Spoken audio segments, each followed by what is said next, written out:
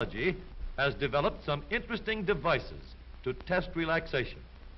With a machine called the somnokinetograph, or sleep movement writer, Dr. Laird can make an accurate record of the amount of relaxation we get when we sleep. This magic disc on the mattress is connected to a pen, which writes on a moving sheet of paper. Every time the sleeper turns, tosses, or rolls over, there is a corresponding peak or valley on the chart. Well, he's spinning like a merry-go-round. Can't settle down. Well, try the other side. Oh, hum, that's better. Comfortable at last. Just a couple of wiggles and jiggles, and so to sleep. In order to sleep well, we must be completely relaxed.